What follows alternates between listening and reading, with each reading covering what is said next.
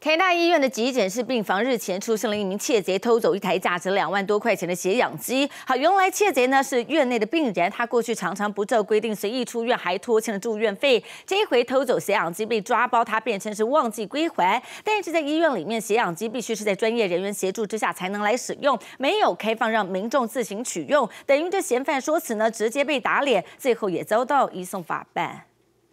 医院急诊室内，有名男子在走道边鬼鬼祟祟东张西望，停在一处对眼前物品东摸摸西摸摸，确定四下无人后，突然手一伸拿走眼前的东西，就快步离开现场。他的诡异行径全被录了下来。这名嫌犯其实还住在医院内的病人哦，不过他常常不配合，随意外出，甚至呢还拖欠住院费用。没想到这次更动起歪脑筋，偷走院内的血氧机。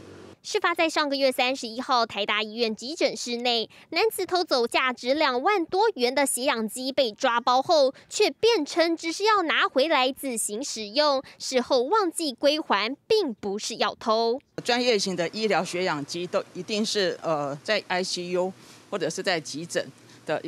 由那个专业的一个护理人员的一个使呃，等于说协助他来做一个使用，所以不太可能就是让病人拿回家自行使用。嫌犯说法马上被打脸，远警也火速在医院外将人逮捕到案。